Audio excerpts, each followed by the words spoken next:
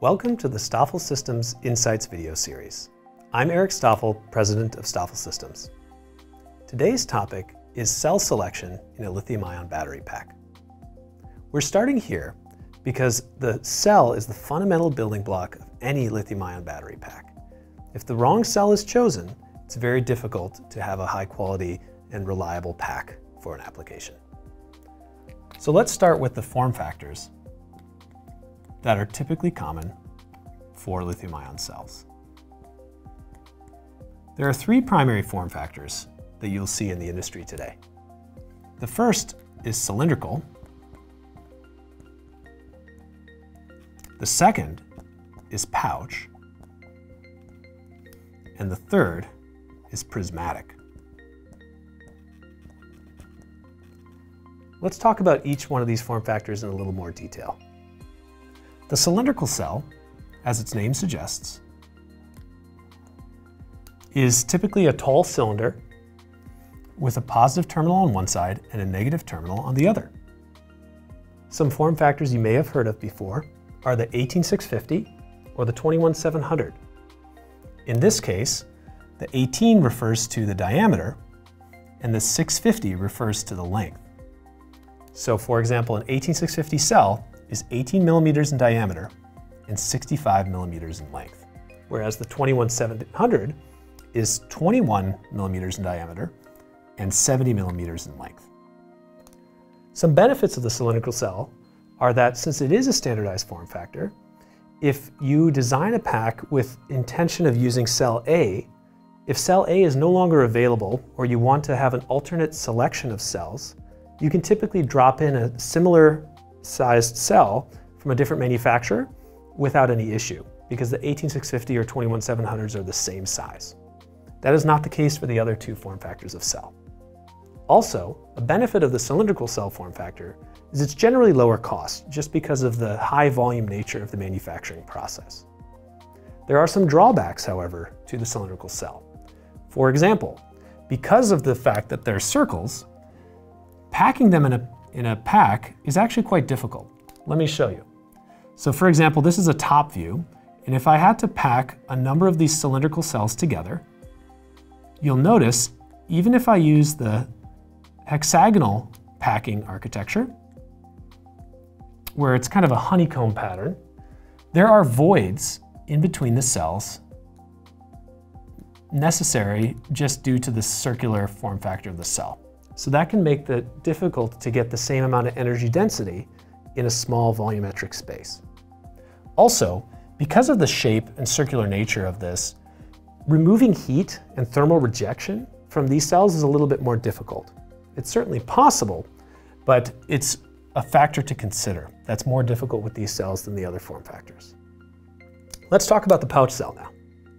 The pouch cell typically is a fairly thin, as you can imagine, pouch where there are numbers, a number of um, anode and cathode layers stacked on top of each other with a positive and negative terminal exposed to either at the top or in some cases you have a positive terminal on one side and a negative terminal on the other. Some of the benefits of this cell form factor is it's generally speaking slightly higher energy density and higher achievable energy density in a pack because since it's effectively rectangular, you can pack them together in a much denser fashion. Also, the thermal rejection is much easier because the surface area you have on the cell is much greater and it's easier to thermally bond a flat surface to another flat surface.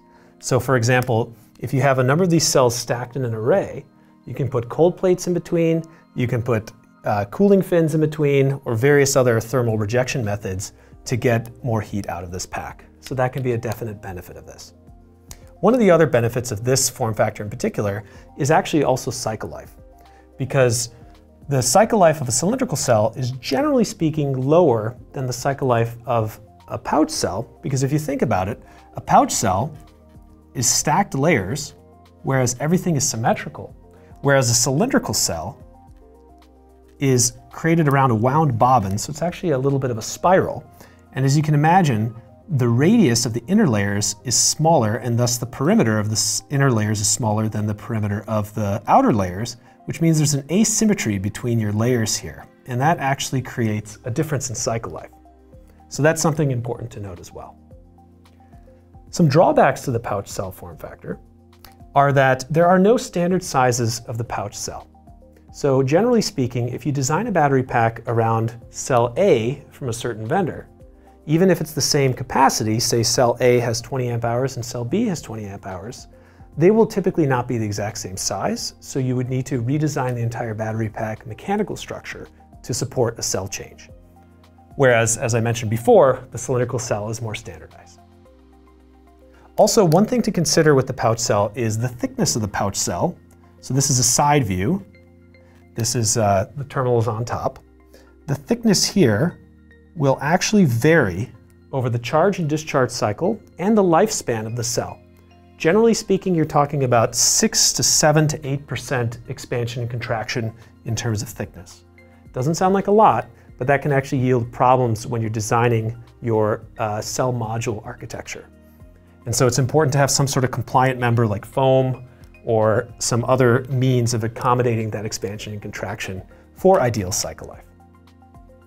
And finally, let's talk about the prismatic cell. So prismatic cells are basically large brick cells that, generally speaking, have a much larger capacity than either cylindrical cells or the pouch cells, sheerly because of their larger size. So in these cells, you typically have you know, thick terminals on the top that are either bolted joints or a laser welded target.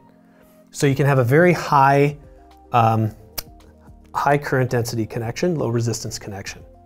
And these cells, just for a matter of scale, whereas you might see something like a 4 amp hour 21700 cell, a 20 amp hour pouch cell, you might see something like a 96 amp hour prismatic cell. So that in alone in itself creates some trade-offs to consider. Okay, so now that we've discussed the different primary form factors of cell, Let's talk about some of the figures of merit you would use to evaluate the applicability of a cell to a given application. So over here, we'll start with figures of merit. Okay, so one of the primary figures of merit you will hear often is specific energy. And this is how much energy you can store for a given weight of cell, and that's denoted in watt hours per kilogram. Generally speaking, top of the line cells give anywhere between 240 and 270 watt hours per kilogram at a specific energy line. The next one would be energy density. So energy density is given in watt hours per liter. So this is how much energy you can actually fit in a given space. And as you can imagine, some applications like aeronautical applications, drones, aircraft, are very weight sensitive, whereas they could accommodate a slightly larger size. As opposed to other applications where energy density is critical and it can accommodate a little bit of extra weight. So understanding the trade-offs of each application can help figure out which type of cell you need.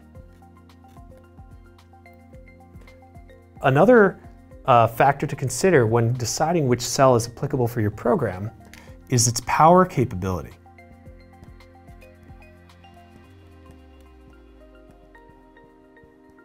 And this can be given in two factors, similarly to specific energy and energy density. And I'll denote it down here. You can do watts per kilogram, or you can do watts per liter.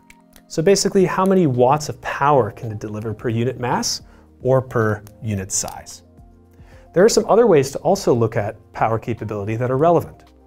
So, for example, one of the plots that's used to consider about the power or rate capability of a cell is a rate capability plot. And so what this does is it plots voltage across depth of discharge. So remember, depth of discharge from our previous video is the inverse of SOC. So depth of discharge at a 0% is fully charged and 100% is fully discharged.